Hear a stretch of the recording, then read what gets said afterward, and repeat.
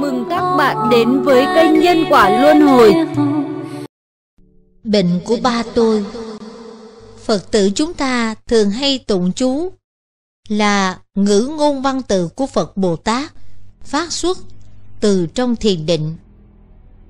Trong khi Phật Pháp truyền sang Hán, đất Hán cũng có một số chú thế gian. Tuy cố cánh không tuyệt hảo, nhưng vẫn có thể hiển linh giải trừ tai nạn. So với Phật chú, cũng có thể thần kỳ hiệu nghiệm giống nhau. Chú gọi là Đà La Ni, dịch sang Hán ngữ, có nghĩa là tổng trì, là giữ gìn thiền pháp không cho tán thức và ngăn ác pháp không cho khởi.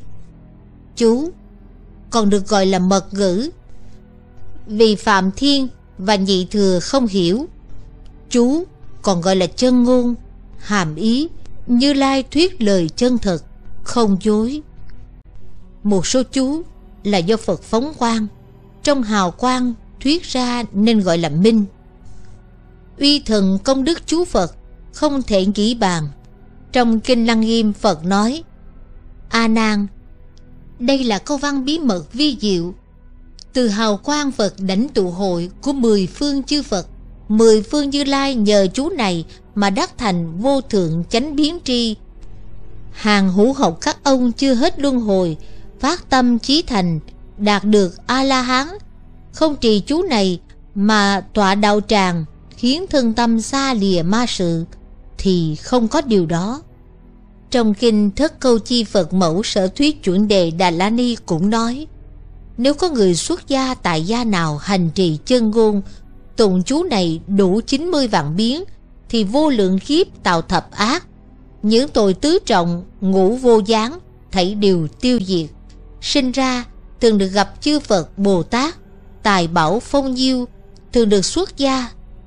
Trong kinh Đại Bi Tâm Đà La Ni nói Lúc tụng chú Mười vương chư Phật đều đến chứng minh Tất cả tội chướng đều tiêu diệt. Tất cả tội thập ác ngũ nghịch Phá trai phạm giới Phá tháp hoại tự Trộm vật chúng tăng, Làm ô nhiễm hành thanh tịnh. Tất cả trọng tội ác nghiệp như thế Thảy đều tiêu diệt. Chỉ trừ một việc, Nơi chú sinh nghi. Thậm chí, tội nhỏ nghiệp nhẹ Cũng không được diệt, Huống là trọng tội. Tuy chẳng diệt trọng tội ngay, Vẫn có thể trồng dân bồ đề về sau. Tôi ban sơ liễu ngộ sức mạnh Và uy thần công đức Phật chú, Bắt đầu từ bệnh của phụ thân. Ba tôi đau bao tử nhiều năm, Tùy theo tuổi tác tăng, Bệnh bao tử càng ngày càng đau. Hôm đó, Khi trời lạnh buốt, Ba tôi ăn sáng xong Thì lái xe đi làm. Đến trưa thì cảm giác bao tử nóng, Muốn nôn. Ông mới ủa một tiếng, Máu tươi tuôn ra giống như núi lửa phun trào vậy. Đồng nghiệp chung quanh sợ điến hồn, Không biết phải làm sao. Một người nhanh trí đỡ ba tôi dậy Cho nằm nghỉ trên ghế sofa, Rồi gọi điện báo cho tôi hay. Nhận được tin, Tôi nhanh chóng đưa ba tôi vào bệnh viện cấp cứu. Do vội vàng, Nên tôi chỉ mang theo mình cuốn sách nhỏ, Có chú Lăng Nghiêm, Chú Đại Bi, Thập chú. Lúc đến bệnh viện, Ba tôi nằm trong phòng cấp cứu, Mặt trắng bệch. Không ngừng thổ huyết. Mẹ tôi ngồi bên cạnh lo lắng Chẳng biết phải làm sao. Bà bật khóc. Trong phòng cấp cứu Nhìn giống như địa ngục nhân gian. Tiếng rên rỉ, khóc lóc Kêu la vang dội không ngừng. Có đủ loại bệnh tụ hội ở đây. Tôi đi liên lạc sắp xếp Đưa ba tôi vào một phòng tương đối yên tĩnh. Bác sĩ đến kiểm tra phòng nói. Người này thổ huyết quá nhiều. Nếu như không khống chế được á Thì hậu quả xấu khó lường. Tối nay á Thân nhân nhớ chú ý quan sát. Hệ thấy thổ huyết nữa Thì phải lập tức cho truyền máu. Nghe bác sĩ nói Khó khăn lắm Ba tôi mới đưa được tay lên khoát khoát Tỏ ý ông không muốn truyền máu. Tôi vội trả lời bác sĩ. Dạ dạ Chúng tôi sẽ theo dõi Có gì thì sẽ liên lạc với bác sĩ liền. Đêm đó Tôi không sao chợp mắt được vì rất lo cho bệnh của ba tôi. Tôi đem hết lòng thành, Cầm cuốn sách chú lên, Bắt đầu tụng. Nói ra xấu hổ, Đây là lần đầu tiên tôi tụng chú một mình. Trước đây chỉ nghe tụng chú trên đĩa. Cho dù có lúc phát âm không chuẩn, Nhưng tôi tin thành tâm, ắt có cảm ứng. Phật lực nhất định sẽ gia hộ cho ba. Tôi cũng không biết mình đã tụng bao nhiêu biến. Tôi cứ đọc mãi, đọc mãi. Cho đến khi tôi và ba của tôi cảm thấy toàn thân ấm áp thư thái Bầu không khí an lành bao phủ khắp phòng. Sáng hôm sau Ba tôi phải làm kiểm tra bao tử. Tôi thầm niệm danh Bồ Tát Quan Thế Âm Hy vọng kỳ tích phát sinh. Uy lực chú Phật khỏa không thể nghĩ tưởng. Trong quá trình kiểm tra Các bác sĩ đều há miệng ngạc nhiên. Họ cho rằng bệnh này rất nghiêm trọng, Khó mà tin là có thể hồi phục nhanh chóng như vậy.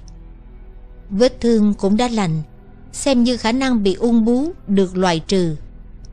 Một tuần sau, Ba tôi tái khám.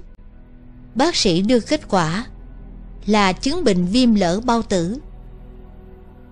Trong thời gian, Cha tôi nhập viện, Tôi tụng thầm bảy bộ địa tạng Và phóng sinh hồi hướng cho ông. Hơn tuần sau, Thì cha tôi hồi phục xuất viện. Việc này càng khiến tôi tăng thêm tín tâm, Kiên định học Phật Và tin vào sức mạnh không thể nghĩ lường của chú Phật. Tôi phát nguyện Dùng hết sức mình Làm đời ích chúng sinh, Giúp nhiều người biết đến Phật Pháp, Sớm lìa khổ được vui.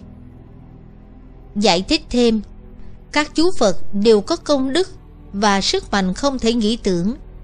Chỉ cần không khởi niệm hoài nghi với chú Dùng tâm từ bi, bình đẳng, bồ đề Tâm cung kính Tâm làm lợi ích cho tất cả chúng sinh Tâm như như bất động Tâm tỉnh táo sáng suốt Tâm thanh tịnh vô nhiễm mà trì chú Chắc chắn sẽ đem lại lợi ích cho chúng sinh quá giải oán cừu Chuyện ác duyên thành thiền duyên Được đại tự tại.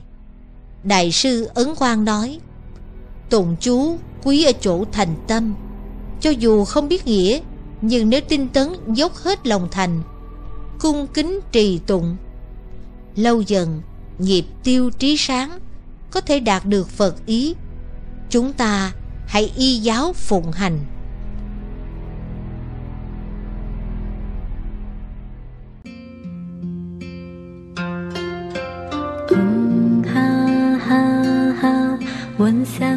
ti so